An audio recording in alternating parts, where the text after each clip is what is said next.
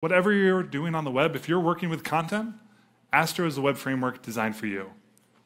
Now, it's been an exciting couple of years as we've gotten this project started, but we already have over 50,000 monthly active developers using Astro to build beautiful content experiences that are fun to develop and also fast and easy to use. We also care about performance.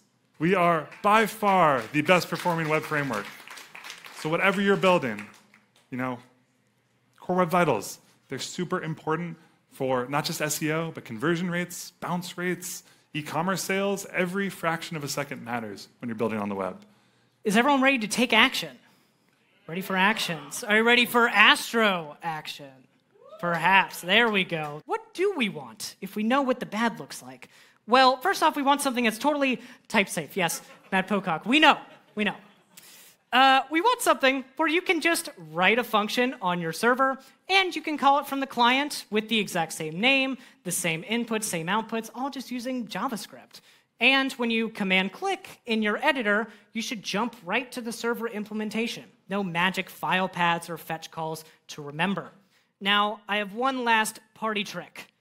This is going to scare all the React devs. Watch this disable JavaScript. Ooh.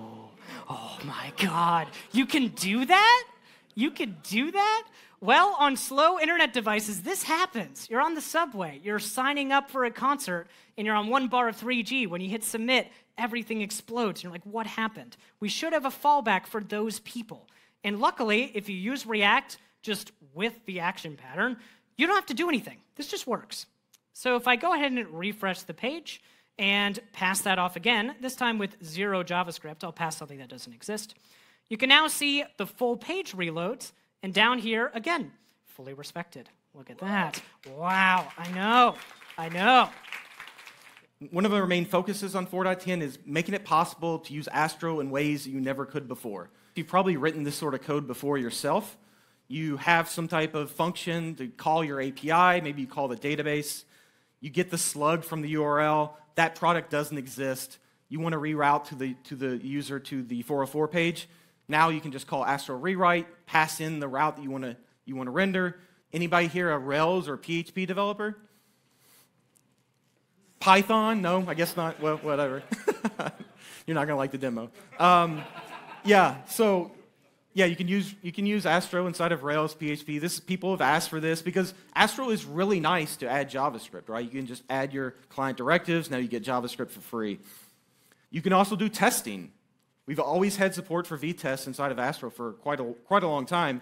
Now you can actually test those components. You import your card, create a container, render that to string, do any assertions you need. There is so much involved in maintaining a documentation website.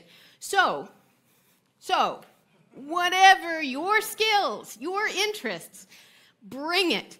We can use it. And so many of you already have. We are so proud of everything that's gone into AstroDocs, everything that's been contributed to AstroDocs, and everything that has come out of AstroDocs. But perhaps we're most proud to be able to help you make your own docs with Starlight. Anyone should be able to just add Markdown and have a helpful doc site that just works on older devices, on slower connections, with assistive technology for your global audience. How can we push the web forward? And the way I want to do that is by showing off three innovations that we're going to be working on this year, building on those same exact three things I just shared off, these foundational pieces of Astro. We want to push each of these forward this year. Let's start with view transitions. Y'all might know this demo. It was making the rounds on Twitter a while ago. You might think this is Spotify. You might think it's a big, heavy application, Electron, JavaScript, SPA. In reality, this is a clone of Spotify built with Astro using almost no JavaScript. This is powered by browser animations using the new View Transition API.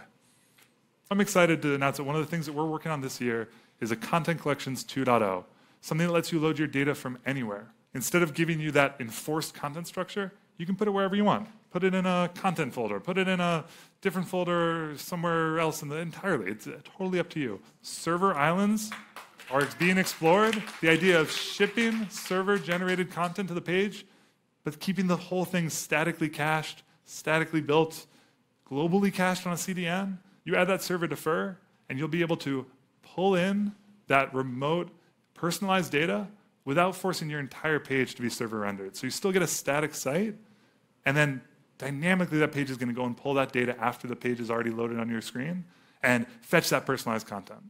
So again, stage one, this is an early RFC that we're exploring alongside our community, but it represents one of the biggest shifts in our architecture since the early V1 days. Thank you all for hearing this. It's really exciting to be building on this and working with y'all, and thank you so much for listening.